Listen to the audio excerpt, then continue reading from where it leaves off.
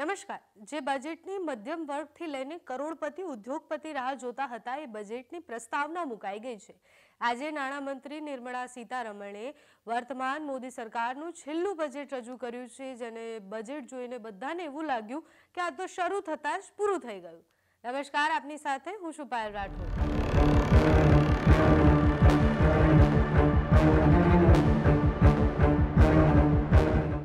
વચગાળાનું budget હતું. Budget રજૂ કરવામાં આવ્યું. નાણામંત્રી નિર્મળા સીતારમણે અઠ્ઠાવન મિનિટનું ભાષણ આપ્યું અને આ વચગાળાનું બજેટ હતું કારણ કે એપ્રિલ મેમાં સામાન્ય ચૂંટણી યોજાવાની છે. નવી સરકારની રચના બાદ જુલાઈમાં સંપૂર્ણ બજેટ રજૂ થશે.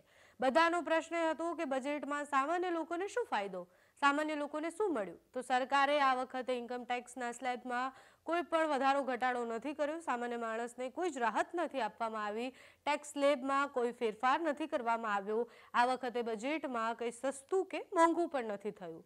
શા માટે? કારણ કે બે હજાર સત્તરમાં જીએસટી લાગુ થયા બાદ બજેટમાં માત્ર કસ્ટમ ડ્યુટીઝ અને એક્સાઇઝ ડ્યુટીમાં વધારો કે ઘટાડો કરવામાં આવ્યો છે. સરકારે પચીસ કરોડ લોકોને ગરીબીમાંથી બહાર કાઢ્યા છે.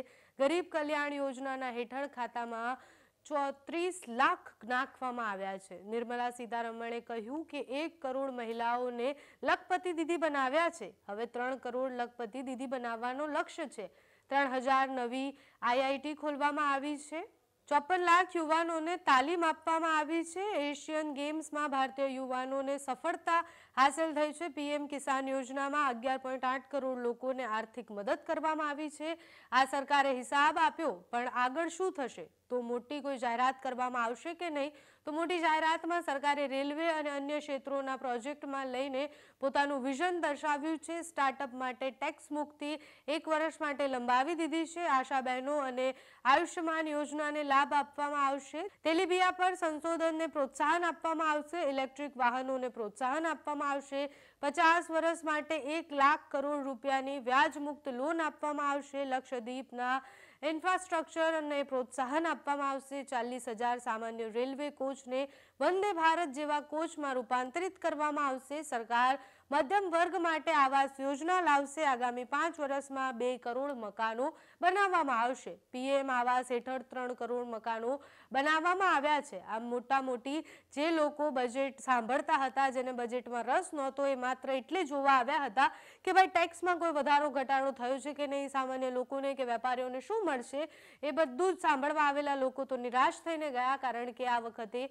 એ બજેટમાં કોઈ પણ જાતનો ફેરફાર કરવામાં નહોતો આવ્યો. જે લોકોએ બજેટ સાંભળ્યું હશે એ નિરાશ થઈને જતા રહ્યા હશે કારણ કે એમની આશાઓ ઘણી હતી. બધાને એવું હતું કે આપણા ટેક્સના પૈસા છે એટલે આપણે અપેક્ષાઓ રાખી શકીએ કે બજેટમાં આ હોવું જોઈએ, તે હોવું જોઈએ. પરંતુ આ વચગાળાનું બજેટ હતું. સરકારે હિસાબ આપ્યો છે કે કયા પૈસા ક્યાં વાપર્યા છે, કેટલો ફેરફાર કરવામાં આવ્યો છે અને આગળ જતા શું ફેરફાર કરશે.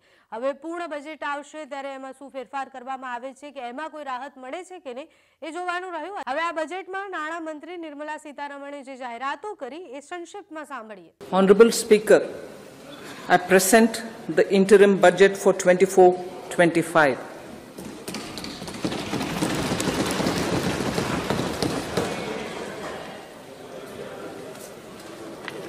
The Indian economy has witnessed profound positive transformation in the last 10 years.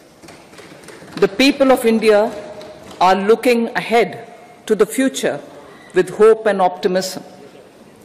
With the blessings of the people, when our government, under the visionary and dynamic leadership of Honorable Prime Minister Sri Narendra Modi, assumed office in 2014, the country was facing enormous challenges. With Sabka Saath, Sabka Vikas as its mantra, the government overcame those challenges in right earnest. Structural reforms were undertaken. Pro people programs were formulated and implemented promptly. Conditions were created for more opportunities for employment and entrepreneurship. The economy got a new vigor. The fruits of development started reaching the people at scale. The country got a new sense of purpose and hope. Naturally, the people blessed the government with a bigger mandate. Strategy for Amrit Kal. Our government will adopt economic policies that foster and sustain growth, facilitate inclusive and sustainable development, improve productivity, create opportunities for all, help them enhance their capabilities and contribute to generation of resources to power investments and fulfill aspirations. Guided by the principle reform, perform and transform, the government will take up next generation reforms and build consensus with the states and stakeholders for effective implementation. It is an important policy priority for our government to ensure timely and adequate finances, relevant technologies, and appropriate training for the micro, small, and medium enterprises, MSMEs, to grow and also compete globally. Areas to women as sole or joint owners have enhanced their dignity. Exemplary track record of governance, development, and performance.